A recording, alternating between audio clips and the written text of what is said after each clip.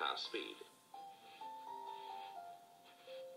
Then the left hand, left foot, right hand, right foot.